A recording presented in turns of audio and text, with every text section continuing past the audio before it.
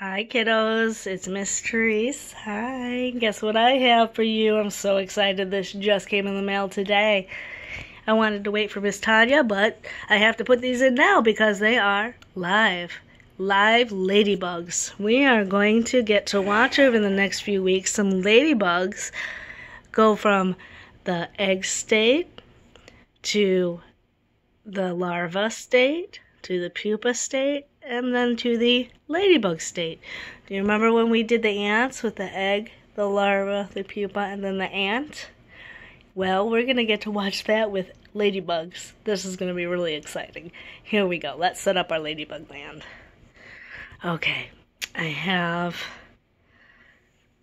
the actual ladybugs are in here. I don't know if you can see them. They're just the little black specks down there. They're little itty bitty eggs and larvae at this point in time. I'm just going to shake them into this part. Oh, hold on, I'm trying to hold the hold the phone and do this at the same time.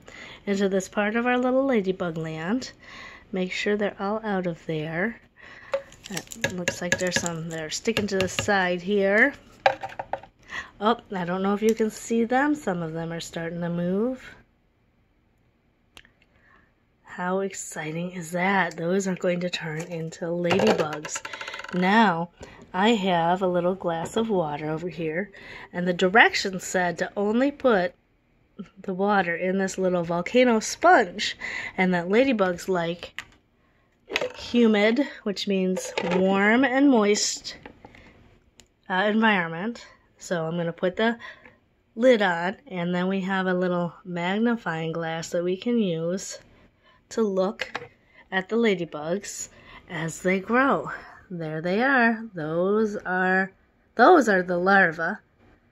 And the powder in there, you can see them moving. That's going to be a ladybug. The powder in there is their food. And we I will come back to this every few days, just like the lavender plant. And we'll keep you up to date. This is to be so exciting. We have our own ladybugs.